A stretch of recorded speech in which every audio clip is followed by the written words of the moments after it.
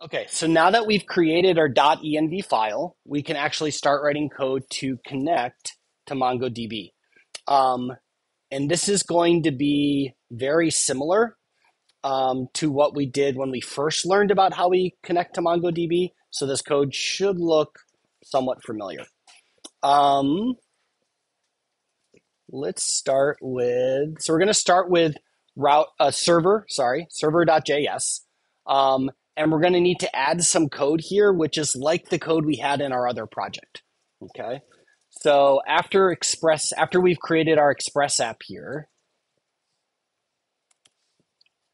let's load the environment variables like we've done before.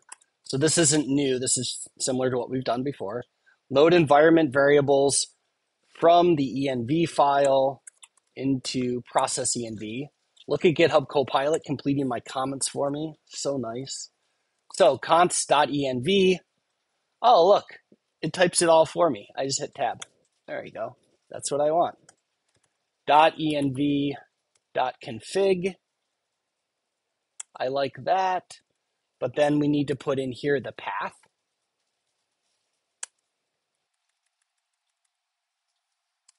I want it to look like that.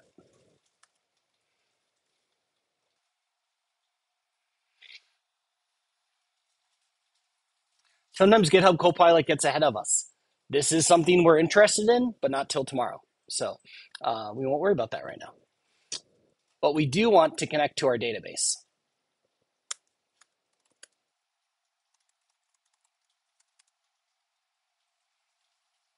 And let's see, did it guess correctly? Server database connection. Yeah, it did. And I'll show you where that file is in a second. And it will say connectdb. There, I wrote almost no code today. Very happy. Good way to start a Tuesday. Yes.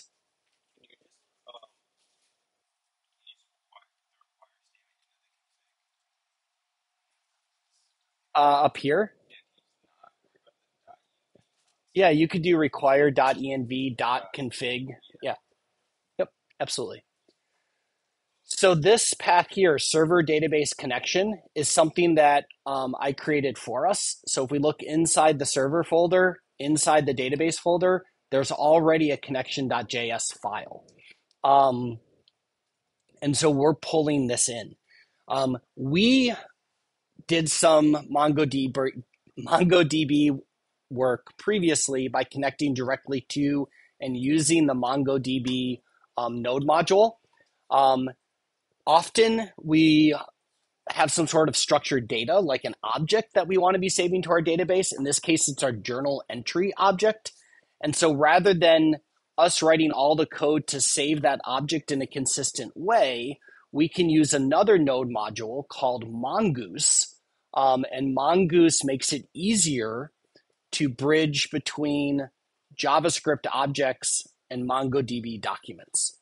And so we're going to be learning about a tool called Mongoose today um, to make our life easier in terms of connecting to MongoDB. And so just in the interest of time and because this never really changes, this is code that you'll you know copy and paste um, this file into your own projects next semester. Um, I just typed it all for us and we'll just talk through it. So we require Mongoose. We um, have here the actual, here's the ConnectDB function that we just invoked in our server.js. Here's the definition of that function where we tried to connect to MongoDB through the Mongoose module. So there's some extra options here. Um, when we do successfully connect, we print out a message, we catch if there's an error, and we exit if there is an error. And then remember when we have our separate JavaScript file that we're going to require from a different file, we need to be clear what is exported from that module. And from this module, we're simply exporting the ConnectDB function. Okay. So all of this is written, and in general, none of this needs to change. Okay, so we kind of consider this boilerplate code for our web applications.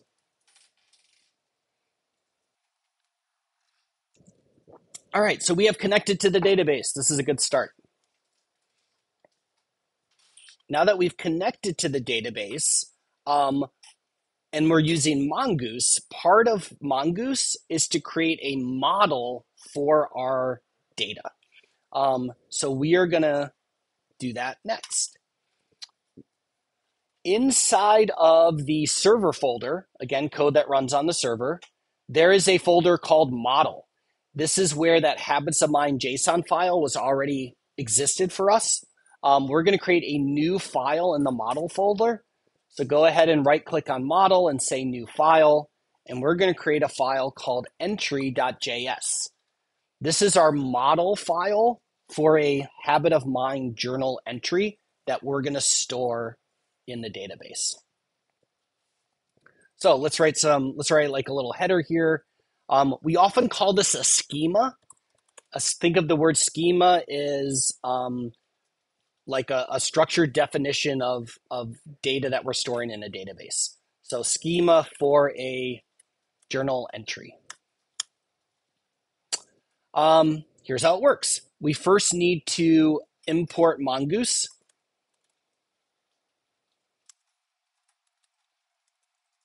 I don't know why I like to use the double quotes. So there we go. Um, and then we're going to create a new um, schema using Mongoose. So I'm going to say const schema equals new Mongoose schema. That looks good. And then we're going to put all of our stuff here. So GitHub Copilot's just guessing we want this stuff, and it's not right. So we'll change it. Um, we want to capture the date. And the date is going to consist, uh, um, so for each property within our schema, or each field within our schema, we're going to specify the name of that field, date, the type of the data we're storing there. So we're going to store um, the date is of type capital D date. That's a known type with our Mongoose schemas. Um, and it required means is this field required or not? Can we add a document to our database without specifying a value for the date? We're going to say no, it's required. You got to you got to specify that. We also want to capture an email. Um, that is of type string, and that too is required. This is how we're going to know whose journal entry it is, distinguish my journal entries from your journal entries. We need to specify which habit of mind it is. That two is going to be a string, and that two is going to be required. And we're going to specify the content. That's the other information we fill out on that form, on that web page. It's going to be required as well. So that is all of our stuff. So I got to close all my parentheses and things. And that is what our construction of a Mongoose schema looks like. Yes. Mongoose is um, a node module that has a bunch of functionality built into it to make it easier for us to read and write objects to MongoDB. What, MongoDB wrapper, you said? Yeah, yeah. For like structured data, like objects. It will handle all sorts of cool things. Like if we have a JavaScript object, we'll be able to just like write it to the database without writing with a single function call and we can like pull that object out of the database and get it as a JavaScript object, not get it as JSON with a single function call. So it just saves us time.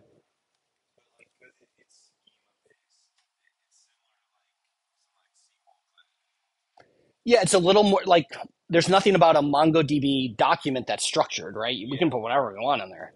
This adds a little bit of structure to it, but a little bit of structure is sometimes helpful if we're like writing a bunch of objects and we want to read them out and make sure like things are filled in the right way.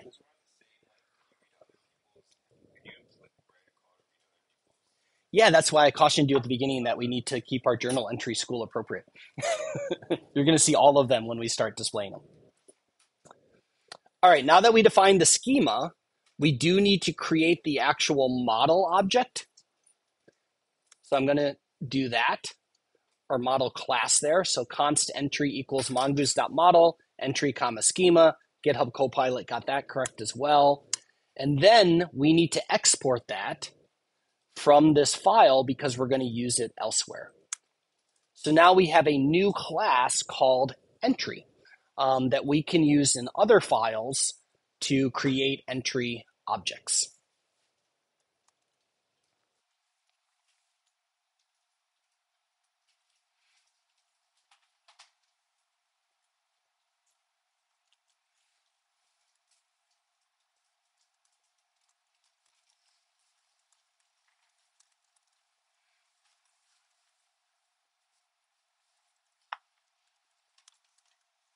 All right, couple more steps, and then we'll actually be writing data.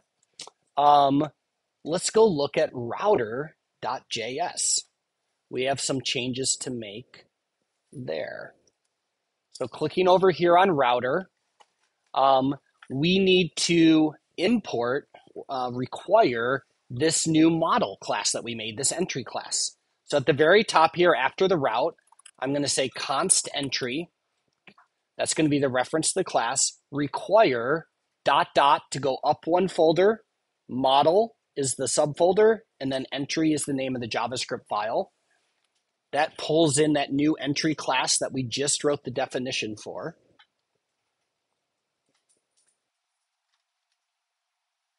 And now we can change our post command. And you'll see like the benefit here of using um, Mongoose. So this was the code we wrote previously just to log the data we got from the web client on the server side, which was a good incremental step. But now we'll actually create one of these entry objects um, and write it to the database. So here's how we do that. Const entry equals new entry. Okay, that's the class we imported from our model file. And when we create our new entry, we want to specify all the values we need to specify. And let's see how good Copilot did here. Date, req body date, that sounds good. Email, req body email.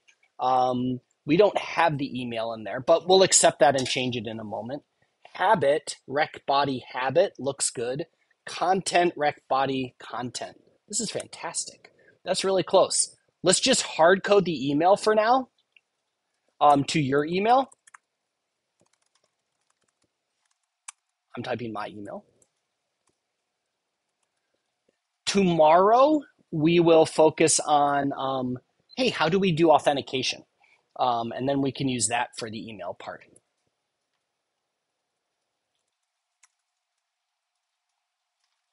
So there's how we create a new entry object.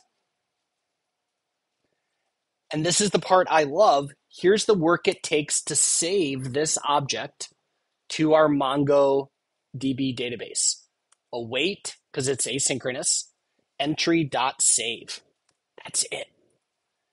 That automatically takes that object, that JavaScript object, writes it to the database as a new document, um, and and as as JSON data. And we'll see what the data looks like in a moment. So super cool how that works.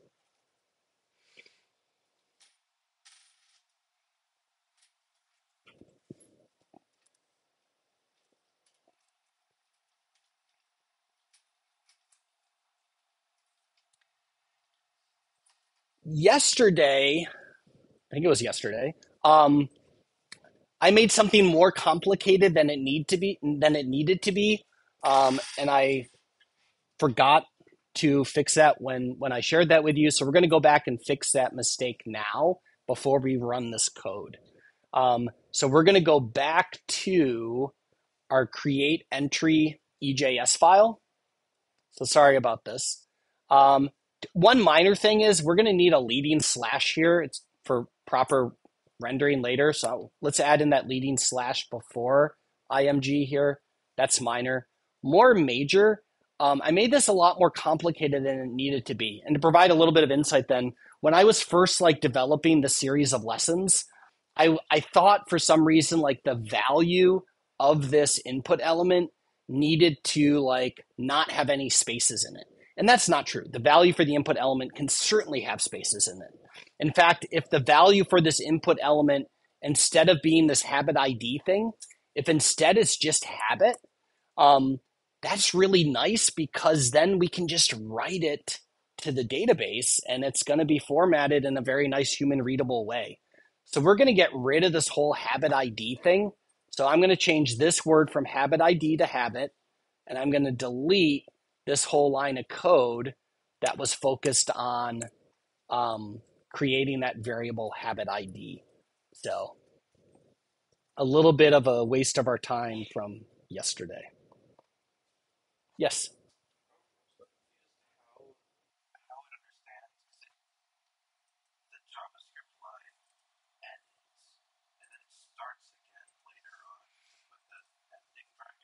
Yep.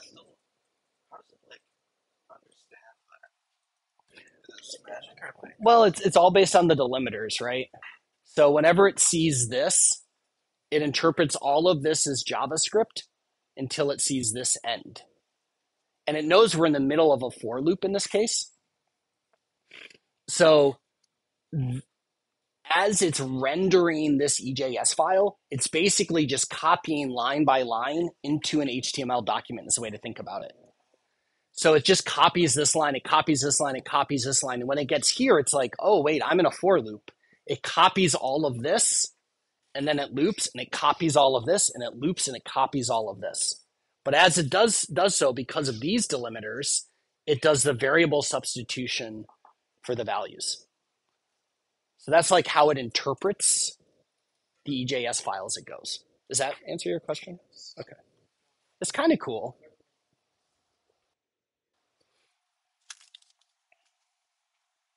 All right, let's see if this works.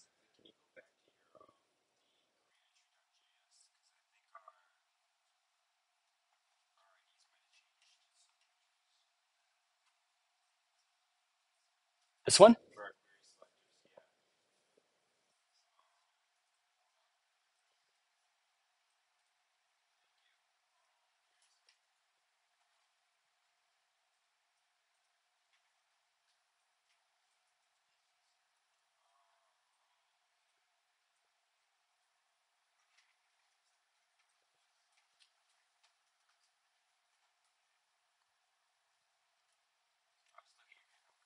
Okay. All right, so let's actually do click on the run and debug and let's start the node server first. So I'll select node server in the pop-up. I press the little play button. The node server is now running. I'm now going to click here and select node client, hit the play button. It's going to launch Chrome, and now that is running. So there's my Chrome window. Um, let's test creating an entry. Okay, so I'm going to click create entry. I'm going to click on today's date. Um, today, what am I focused on today? Um, I'm going to click responding with wonderment and awe, and I'm going to type, I am impressed with the accuracy of GitHub Copilot. There's my journal entry. And then I'm going to click submit. And I'm back on the main page. Let's see if anything interesting shows up here. So server is listening. Here's the MongoDB connected part, some path requested things. Things look pretty good. Um, you don't have access to this now, but when you're working on your own project, you certainly will. And that is access to what's called Atlas. Atlas is the web based way of browsing a MongoDB database. Um, and so I'm going to refresh. Might have to log in again. Let's see. Yep. So I'm going to log in.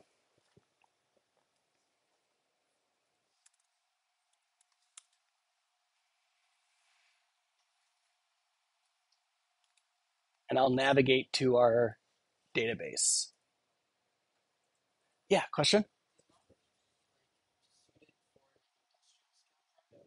For sure. Yeah. You have to be a l- little bit smarter with how you do your queries and things. So you do more stuff on their server side and less on yours. But yeah.